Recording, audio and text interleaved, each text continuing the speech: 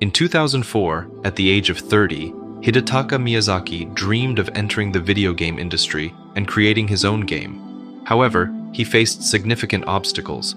Not only did he lack any previous work experience in the field, but he was also considered too old in Japan to make a career shift.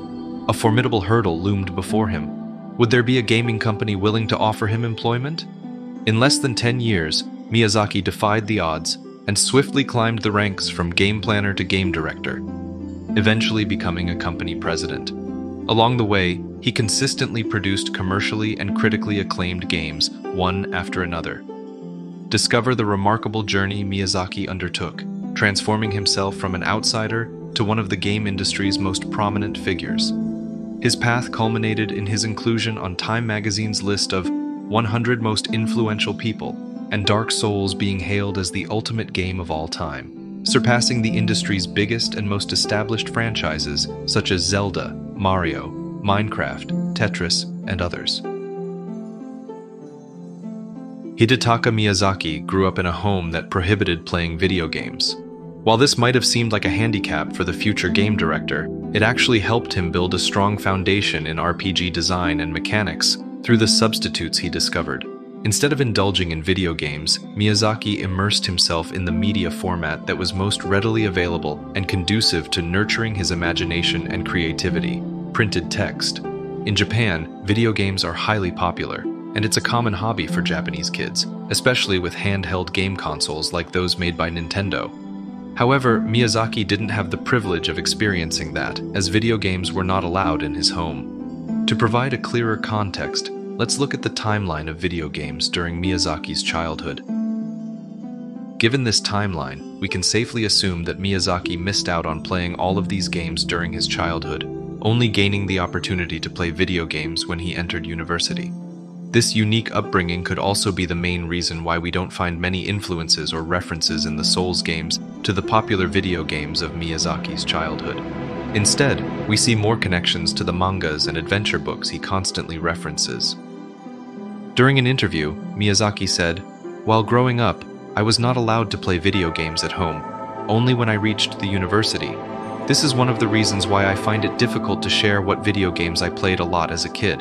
However, I was able to play board games, and one of my favorites is Sorcery. I would open Revisit and play that game. Though it is not a video game, it is definitely one of the games that had a significant impact on me. As a young child growing up in Japan, Miyazaki was naturally expected to be exposed to and become very familiar with Japan's version of comic books, known as manga. To gain a clearer understanding of the manga that might have influenced him during his childhood, let's take a look at the timeline of manga during that period. It can be safely assumed that Miyazaki was exposed to most of the popular mangas in the list, which inevitably influenced his future work in the game industry, especially the manga Berserk. Additionally, in the list provided, we can observe two Studio Ghibli materials that the Souls games often reference, namely Nausicaa and Shuna's Journey, which is considered to be the prototype of Princess Mononoke. However, among all the entries in the list, the one that profoundly impacted Miyazaki was the manga Berserk. The series began serialization in 1989 when Hidetaka Miyazaki was 15 years old, an age in Japan where male readers typically transition from reading shonen, which focuses on heroic, fighting, and adventurous themes, to seinen, which delves into darker, grimmer, and more mature content. Berserk, being a dark fantasy, seinen manga, captivated the imagination of the young Miyazaki, in his later interviews, he consistently references Berserk when asked about the books he keeps on his shelves. The manga left a lasting impression on him, shaping his artistic vision and creative direction in his future endeavors. However, Miyazaki not only became familiar with mangas, but also discovered Western adventure style books. These resources provided him with exposure to RPGs, an experience he would have missed due to restrictions on playing video games. In an interview, he shed more light on his childhood and said, Growing up as a kid, reading was what I truly loved. I enjoyed delving into books that were beyond my understanding. I always explored and aimed higher by reading advanced books. Typically, though I could read them, sometimes due to my young age, I couldn't delve too deep into them. Occasionally, I would only grasp half of the story. However, my imagination would fill in the other half, and that imaginary part would come to life. I find this experience truly enjoyable. I bridge the gaps of what I didn't fully understand in my reading, and my imagination takes me on a journey, eventually convincing me that I comprehend what I'm reading. Furthermore, he affirmed multiple times in interviews that reading books and playing text-based RPG board games significantly contributed to his unique sense of creativity and imagination. As a result, he aimed to replicate this experience, hoping his future players would undergo the same discovery and adventure he had while playing these text-based games. To better understand how adventure books might have influenced him, let's consider their timeline in relation to Miyazaki's childhood. It is interesting to note that two of the greatest adventure book series, Fighting Fantasy and Sorcery, both began when Miyazaki was at a young age, just beginning to read and attending elementary education. To demonstrate how Miyazaki's childhood fondness for adventure books still influences him today, let's take a look at screenshots from both Fighting Fantasy and Sorcery, as well as images from his latest game, Elden Ring. The homage he is paying here is beyond doubt and crystal clear. Only those familiar with the references will recognize them, but this doesn't diminish the experience for those who may not be aware of it. This aligns perfectly with Miyazaki's principle of hidden beauty. During an interview, Miyazaki emphasized his fondness for the storytelling style unique to adventure books, distinguishing them from traditional novels. He expressed his desire to convey this distinct experience through his games. Miyazaki said, I'm a big fan of stories that require some imagination to fully understand. When I was a kid, I truly enjoyed reading books that were a little advanced for me. I could only understand half the kanji and had to use my imagination to fill in the gaps. My goal is to bring that kind of experience to video games, where you use your imagination to complete the missing parts. Consequently, all of the games directed by Miyazaki adhere to the principle of environmental storytelling. Rooted in his childhood experiences, he holds this style of storytelling dear to his heart. As a result, the restrictions he faced with video games during his early youth played a crucial role in shaping him as a game creator, offering something truly unique and distinctive to his approach. Miyazaki added, I want to leave the discovery and interpretation of the world's lore and stories to the players. That's why I focus on environmental and subtle storytelling. Instead of the game automatically telling the story, players will find more value in discovering hints of the plot from items and people they encounter in the world. Of course, we might receive criticism if players don't get enough explanations, but I'm willing to accept that. The fun of imagining things for yourself is one of the core tenets I follow. I aim to share the joy of exploring a really dark and mysterious place and then attempting to shed light upon it. Like many individuals who discover something precious in their childhood, Miyazaki has maintained his love for reading throughout his life. In numerous interviews, he consistently emphasizes the significance of printed text as a powerful catalyst for creativity and imagination. Miyazaki said, Many of the ideas and themes expressed in our games find their origins in the written word, the things that come to life in our imaginations as we read, and the interpretations that unfold within our minds. While my pool of inspiration draws from various sources, if I had to single out one in particular, it would undoubtedly be books, especially those with text-based narratives. As I've mentioned before, one of my greatest pastimes is to immerse myself in these books, allowing my imagination to roam free and indulge in fantastical realms. This process serves as a significant wellspring of inspiration for my game development endeavors. To this day, Miyazaki prefers drawing inspiration from books more than any other sources, if you are curious about the contents of the shelves in his office, Miyazaki once shared a glimpse into his collection, saying, First, you would see the manga shelf, which contains Devilman and Berserk at the top. The adjacent bookshelf is filled with tabletop role-playing game rulebooks, with RuneQuest in front, together with the board game Dragon Pass. Another shelf is dedicated to novels, featuring classics of fantasy and science fiction, prominently highlighting George R. R. Martin's A Song of Ice and Fire and Fevre Dream.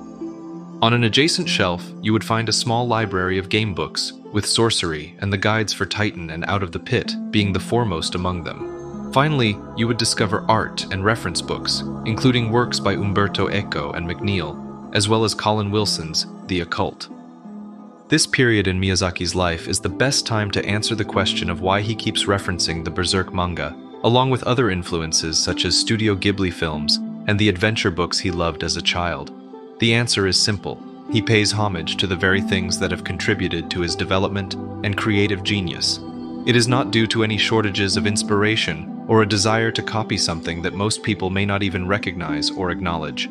This principle of hidden beauty is a core tenet of his approach, acknowledging it doesn't require anyone's permission. You can choose not to recognize it, and yet your joy and experience in playing the Souls games will remain undiminished. However, for those who can discern this hidden beauty, it rewards them with a profound sense of joy and appreciation. The restriction on playing video games will not last long, though. Miyazaki will soon be able to fulfill his yearning and play video games upon entering the university. In 1993, at the age of 19, Hidetaka Miyazaki enrolled at Keio University, where he pursued a degree in social science. Later on, he successfully completed his graduate studies here. To provide some context, Keio University is the oldest institution of Western higher education in Japan, and it holds a prestigious position as a top-tier university in the country. Its impressive list of alumni and faculty includes three former prime ministers, two astronauts, and six international honorary members of the American Academy of Arts and Sciences. Moreover, Keio University boasts the highest number of CEOs from companies listed in the first section of the Tokyo Stock Exchange. Considering this, we can truly recognize Miyazaki's entrance into Keio University as a significant achievement in itself. Furthermore, it is important to note that in Japan, the period of high school before entering a university is typically more stressful and strenuous compared to the years of actual university study. This heightened pressure is due to the hyper-competition among Japanese students to secure spots in their chosen universities. As a result, for those fortunate enough to gain admission to their preferred university, college life offers a chance to relax and build their social network, having already surpassed the rigorous selection process and demonstrated their merit as future representatives of the institution upon graduation and during their job searches. In an interview, Miyazaki provided insights into his college days. He said, Back in university and later in graduate school, I studied social sciences. During that time, the internet had just started, making it a fascinating period that made me think about a lot of things. Of course, video games were my main focus, and I was always playing them. Though I wasn't a very serious student and not in any way an expert, I believe my studies influenced me. During this time, it wasn't immediately evident how Miyazaki's degree in social sciences would benefit him in a potential career in the game industry. Nevertheless, Miyazaki repeatedly affirmed that his degree played a significant role in shaping the social interaction and network features found in the Souls games.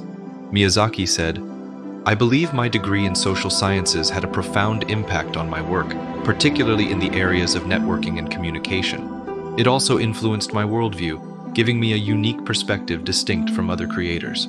For instance, Bloodborne itself reflects much of what I learned during my time as a student. You might find this somewhat pretentious, but when I contemplate network systems in video games, I approach it from a social sciences standpoint.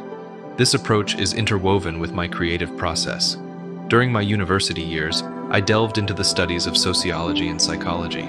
Even now, I continually revisit the themes I explored back then and the experiences you are currently enjoying are the fruits of those endeavors. As we plan to release dedicated videos on the creation of each Souls game, we'll only provide a glimpse here of what Miyazaki refers to in terms of incorporating unique social interactions and network features influenced by his degree. Several examples include minimizing communication load between players, employing bloodstains as a gameplay element, introducing online invasions and cooperative play, and implementing a feature where a player can assume the role of a boss in a game level, as demonstrated in Demon's Souls and later in Dark Souls 3. To gain a better understanding of the popular games during Miyazaki's university days, let's delve into the timeline of video games from that period. Among all the games in this list, one stands out as the most influential, particularly in the growth of 3D games, the Legend of Zelda Ocarina of Time. This game had a profound impact on many individuals who later entered the gaming industry. Prominent game creators, including Fumito Ueda of Ico, Amy Hennig of Uncharted, Sam Houser of Grand Theft Auto, and many others, acknowledged its significant influence on their own works. Miyazaki himself expressed that The Legend of Zelda became a sort of textbook for 3D action games, The gameplay system of The Legend of Zelda Ocarina of Time popularized features such as a target lock system and context-sensitive buttons, which have since become common elements in 3D adventure games. As you will soon discover in our video on the making of Demon's Souls, considered the first Souls game, the first major change Miyazaki introduced when he became the director was to alter the game's perspective and implement a lock system, similar to what we see in Zelda Ocarina of Time. It's also worth noting that all of the key games from From Software, including all entries in the King's Field series and the first Armored Core, were released during Miyazaki's university days. In interviews, Miyazaki reiterates that King's Field is one of his favorite games. In this stage of Miyazaki's life, an important question arises what did his university days truly contribute to his development and creative genius as a game creator? Much like how his childhood laid the foundation for Miyazaki's passion for role-playing games and his deep knowledge of RPG mechanics, his time at university provided significant contributions to the kind of games in which he would excel in the future. Two pivotal events in gaming history played a crucial role in his growth. The release of Zelda Ocarina of Time during his final year of graduate studies and from Software's King's Field during his first year at the university. The Souls games are heavily inclined towards meticulous combat and dark fantasy themes, two significant characteristics that both Ocarina of Time and the King's Field series helped instill within Miyazaki.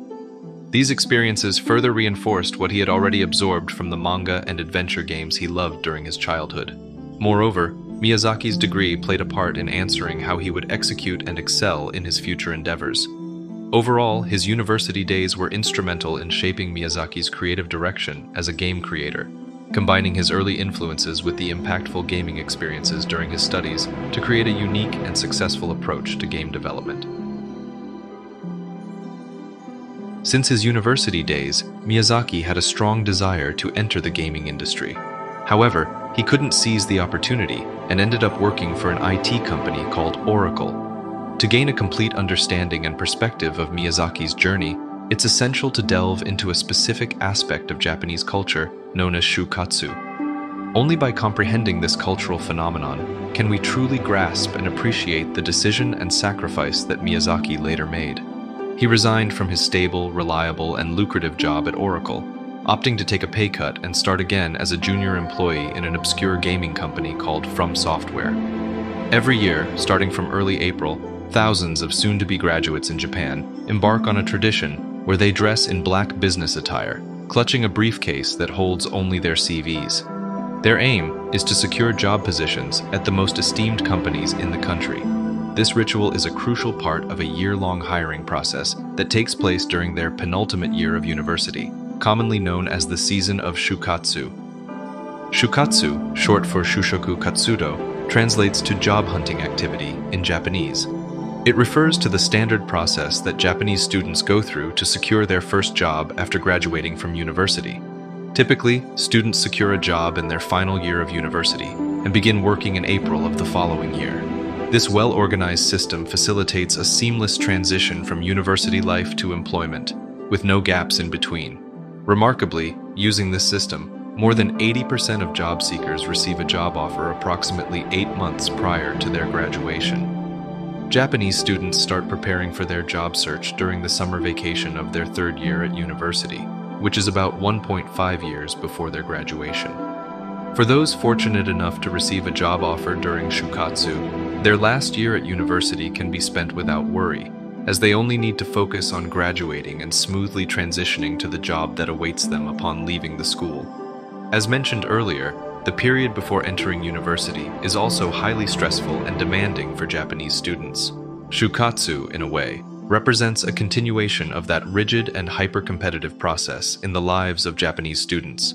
However, once they successfully navigate through it and prove their abilities, they can look forward to a more stable and relaxed life. Shukatsu holds tremendous importance for Japanese individuals as the outcome of their job hunt can significantly elevate their social status. As Yuki Honda, a professor at the University of Tokyo's Graduate School of Education, wisely stated, whether they get a job when they graduate decides their whole life. In Japan, there is a well-known saying that goes, you're married twice, once to your company and once to your wife or husband. Between those two choices, the company will always take precedence. Keep this in mind as we approach the part in the video where Miyazaki intentionally resigns from his job to follow his dream of creating his own games. Now let's delve deeper into this aspect of Japanese culture to gain a more comprehensive understanding of Miyazaki's circumstances. The primary reason for the unified hiring cycle known as shukatsu is that many companies prefer to train their new recruits on the job. Organizing the training process, involving mentors and internal seminars, would become significantly more difficult if inexperienced employees kept joining throughout the year. However, there is an essential consequence of this system that we must all be aware of and consider to appreciate Miyazaki's choices fully. The Shukatsu system offered lifetime employment to new graduates, which, in turn, provided job security and status for major Japanese firms. The prevailing mindset was that the only way one could lose their job was if the company went bankrupt.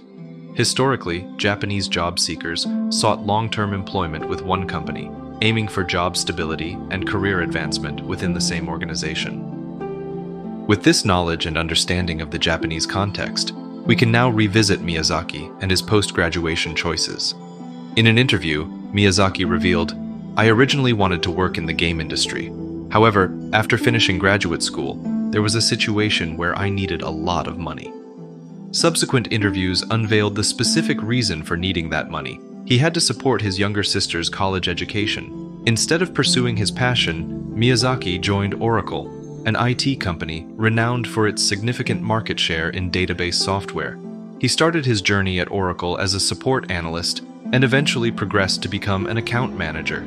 Rather than delving into the specifics of his work at Oracle during the four years, it would be more insightful to focus on the timeline of the games that were released during this period, particularly considering that Miyazaki's primary motivation for being at Oracle was to assist his sister. Two crucial years stand out in this timeline, significantly impacting Miyazaki's life and the fate of From Software, particularly regarding the future Souls games, the years 2001 and 2004. The significance of these years lies in the release of two influential games, Ico in 2001 and Elder Scrolls Oblivion in 2004. While we will provide comprehensive reasons for the importance of both games, let's focus on the game Ico for now, as it had a profound impact on Miyazaki's journey. Ico, released in 2001, played a transformative role in Hidetaka Miyazaki's life. The game had a profound effect on him, and its influence on his creative direction and career path cannot be underestimated. In our upcoming video about the making of Demon's Souls, we will delve deeper into the significance of the year 2004 and how the game Elder Scrolls Oblivion eventually led to the creation of the dark fantasy game Demon's Souls. However, for the present moment, let's concentrate on exploring the pivotal game from 2001, Ico. Ico is a captivating video game developed by Team Ico and released in 2001 for the PlayStation 2. Its release garnered considerable attention and acclaim due to several remarkable aspects that were groundbreaking and influential in the gaming industry. One of the game's most striking features is its breathtaking art direction. It presents a minimalist and atmospheric world, featuring hand-painted textures and a subdued color palette.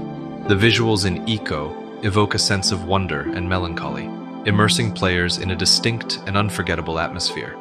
The narrative of Ico is a testament to its uniqueness as it unfolds without any spoken dialogue. Instead, it relies solely on the character's body language and gestures to convey emotions and advance the story. This minimalist approach to storytelling adds depth and resonance to the relationship between the two main characters, Ico and Yorda. As players progress through the game, they become emotionally invested in their journey, making it a remarkable example of storytelling through gameplay. Ico has garnered praise for its ability to evoke a wide range of emotions, including a sense of isolation, companionship, and the determination to protect Yorda. This emotional journey sets the game apart from many other video game experiences and contributes to its lasting impact on players. Despite being released in 2001, Ico's impact and influence have endured over the years. It has garnered a cult following and serves as a significant source of inspiration for other games and developers. Jenova Chen, the creator of art games such as Flower and Journey, has cited Ico as one of his most significant influences. The game Journey, for instance, clearly showcases Ico's influence in its visual presentation. The absence of a HUD, lack of an explicit tutorial, and the grand scale of architecture compared to the main character, evoking a sense of wonder and melancholy reminiscent of Ico. Another popular example is Neil Druckmann, the creative director of The Last of Us, who expressed his admiration for Ico, stating, But the main thing I loved about Ico was that relationship, that hand-holding mechanic that helps build a bond. It was the first time I realized you can create something meaningful through interaction, as opposed to just telling a story. Bruce Straley, the game director of The Last of Us, also shared how Ico significantly influenced him.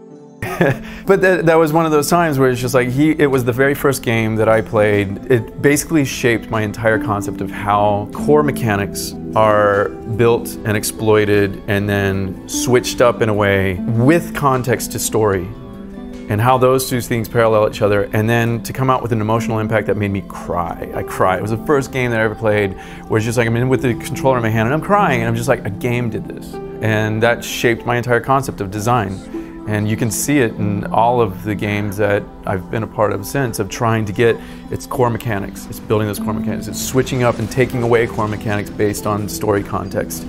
You know, it's getting a good arc so that you can play with the mechanics in parallel to this story arc and understanding that stuff. So that's interactivity, man. That's that's what we can do. Numerous game designers, including Eiji Aonuma, Hideo Kojima, and Jordan Mechner, have acknowledged Ico's significant influence on their own games. Even renowned film director Guillermo del Toro has praised Ico as a masterpiece and a source of inspiration for his own directorial work. Undoubtedly, Ico stands out as one of the most influential games ever created. Now you might wonder how this all ties into the journey of Hidetaka Miyazaki. Miyazaki shared in an interview that the Dark Souls series would never exist without Ico. In fact, he would not have left Oracle and joined From Software if it wasn't for Ico. He said, On a personal note, after graduating from university and starting a new job, I was away from games for a while. However, I happened to play Ico at a friend's house on a recommendation. It was a beautiful, untold experience and a story that I had never imagined. I'm very sorry to my friend, but I was quietly moved and silent. That's when I decided to leave the company I was working for at the time and started working for From Software. I'm not exaggerating when I say it was the game that changed my life, and I'm proud that it was Ico and it was Mr. Ueda's game. The game awakened me to the possibilities of the medium. I wanted to make one myself. Up until now, we have explored three significant stages in Miyazaki's life his childhood, his time at the university, and his first job at Oracle. Each of these phases played a crucial role in shaping his growth and fostering his creative development. During his childhood, Miyazaki's love for manga and RPG books was kindled, and he was deeply influenced by their unique storytelling styles. Later, his education laid the groundwork for his expertise in 3D action games, while his experience at Oracle exposed him to the possibilities of the medium and ignited his ambition to create his own game. Now, he stands at the threshold of the next phase in his journey, but there remains one hurdle he must overcome, finding a new job in the gaming industry. As mentioned before, Miyazaki joined Oracle with the purpose of supporting his younger sister's university education. Considering that he joined Oracle in 1999 and spent approximately four years there, it can be assumed that he has successfully fulfilled his role in financing his sister's education, and she has completed her university degree. This achievement might grant him a sense of freedom to pursue a career that aligns with his passion. However, it's essential to consider the societal norms in Japan regarding work and employment. These cultural expectations may still exert some influence on his decisions and career choices. To gain insight into the culture of Japan, particularly in their workforce and job expectations, it's essential to understand the concept of lifetime employment. In Japan, there exists a traditional expectation that employees will remain with a single company for their entire working careers. This practice is rooted in the idea of reciprocal loyalty between the employer and the employee. In contrast, many Western countries have a culture of job hopping, where individuals change jobs more frequently to seek better opportunities or career growth. In addition to lifetime employment, Japanese companies often follow a seniority-based promotion system, where employees are promoted based on their years of service rather than solely on merit or performance. This means that remaining loyal to one company ensures not only financial stability, but also secures career growth. However, for someone like Miyazaki, following his true passion would require him to make significant sacrifices. He must be willing to give up the prospect of lifetime employment, accept a potential pay cut, and face the pressure of searching for a job in a field where he lacks professional experience. A comment from one of Miyazaki's colleagues at From Software sheds light on his later career shift. He is one of a kind. In Japan, it is customary for new employees to join a company as a graduate and remain there for life. This has been true in the past and continues to hold true even today. This remark underscores the rarity of Miyazaki's decision to break away from the traditional career trajectory and pursue his passion despite the cultural norms surrounding lifetime employment. His decision to pursue his passion despite the challenges reflects his determination and courage to chart his own course. Fortunately, Miyazaki found an opportunity with a small gaming company called From Software, which took a chance on him and offered him a position as a game planner. This marked the start of his new career in the gaming industry. In an interview, Miyazaki expressed his gratitude, saying, there were only a few companies that would consider hiring a 30-year-old with little experience in planning. I consider myself fortunate that From Software took a chance on me, especially since I was already a fan of their game King's Field. To gain a more complete context, let's explore a short history of From Software. Founded in Tokyo by Naotoshi Zin on November 1, 1986, From Software initially focused on developing business applications. It wasn't until 1994 during Miyazaki's second year at the university that the company made its debut in the gaming industry with the release of King's Field for the PlayStation. While the game achieved commercial success in Japan, it didn't see a release in other regions. However, its sequel, King's Field 2, found its way to North America and Europe in 1996. From Software continued to expand its portfolio with titles like the horror game Echo Night and the role-playing game Shadow Tower in 1998, following the release of King's Field 3. One of their significant milestones came in 1997 with the launch of Armored Core, the first installment in their flagship series of mecha combat games. What's important to remember is that despite now being considered a major gaming company known for creating AAA titles like Elden Ring and Sekiro, From Software had humble beginnings and remained relatively obscure before their breakout success this breakthrough was driven by the creation of the Souls games by Miyazaki. Without Miyazaki's contributions, it's likely that From Software would still be relatively unknown, hidden in obscurity. However, Miyazaki considered himself lucky to have entered the gaming industry. This company appeared to be the perfect place for his potential to flourish to its fullest extent. Just imagine if Miyazaki had been hired by industry giants like Nintendo, Capcom, or Konami companies that were considered the most significant game developers during that time.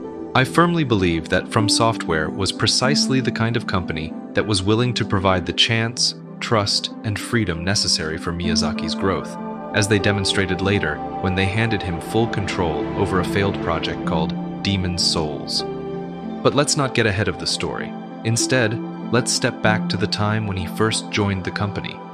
Upon getting hired, Miyazaki's initial assignment was to work as a planner for a title called Armored Core Last Raven, joining the development midway. Reflecting on this experience, he stated, In Last Raven, I had the opportunity to delve into various aspects of the game, starting with working on the enemy AI. Later, I was given tasks related to mission design, game progression, text, menus, parameters, and more. This gradual involvement laid the foundation for my understanding of the game production process. The advantage was that, being a sequel, this title already had a relatively stable game system and engine, allowing me to explore and gain experience in multiple areas. Subsequently, the game Armored Core Last Raven was released in Japan on August 4, 2005, several months after Miyazaki's arrival at From Software.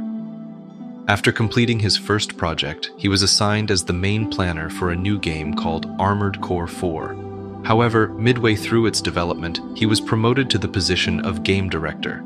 In an interview, the host asked Miyazaki how he managed to become a game director in such a short period of time. The host said, You mentioned being treated like a new employee, but it's quite unusual to become a director after just one project.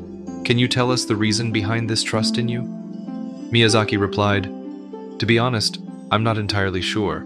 I think external factors played a significant role rather than my own actions. The opportunity to become a director arose during the prototype production, and the current situation wouldn't have been possible without the need for a new director. Subsequently, Miyazaki continued as the game director for the next title, Armored Core for Answer, thoroughly enjoying his work on the Armored Core series. However, deep down, his true passion lay in the fantasy RPG genre, a preference that had its roots in the adventure books he cherished during his childhood. So, he was very excited when he heard about a new game being developed by a separate team, and its title was Demon's Souls. Miyazaki learned that the project was struggling and beset with various issues. It was considered a failure, but it interested him. Could this be the opportunity he had been waiting for?